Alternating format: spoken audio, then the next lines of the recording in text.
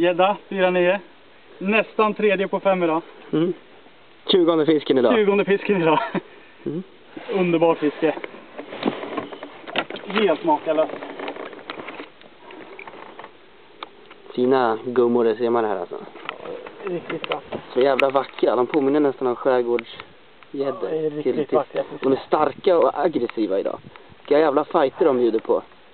Böjer våra jerkspön ända ner till botten. Och huggen är, men inte inga fishugg alltså, utan de... De sliter verkligen tag i det. Jag hoppar över det här. Ja.